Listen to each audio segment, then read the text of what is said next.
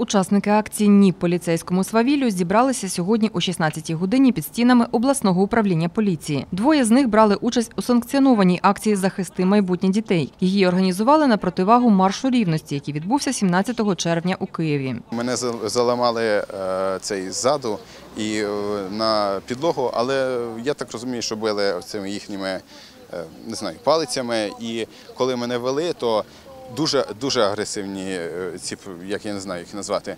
Е, З всіх боків мене просто е, ображали, вбили мене. Є у вас синці? Так, на ногах і на руці. Основні вимоги це покарати винних і е, в подальшому дотримуватися чинного законодавства, яке було порушено. Е, Вимоги ці е, у нас є, вони зареєстровані офіційно в нашій організації.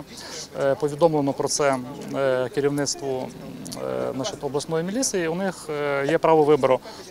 Якщо це їх цікавить, або знайомитися з цими вимогами, або- як страус запхати голову в пісок і їх проігнорувати. Акція тривала дві години. За підрахунками організаторів, тут зібралося 25 людей. У поліції кількість протестувальників не рахували. До учасників акції з обласного управління поліції ніхто не вийшов. Як повідомила прес-секретар громадської організації Правий сектор Хмельниччини Дарина Войтович, свої вимоги учасники відправлять рекомендованим листом в обласне управління поліції. Ірина Аріон, Юрій Чорний. Новини Поділля Центр.